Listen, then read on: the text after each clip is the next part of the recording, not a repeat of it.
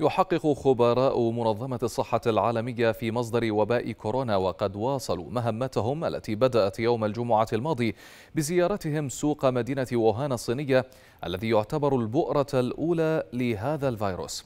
ووصل أفراد الفريق إلى سوق هونان للمأكولات البحرية التي كانت تباع فيها حيوانات برية حية وأغلقت منذ مطلع العام الماضي ودخل عدد منهم فيما منع آخرون من الدخول.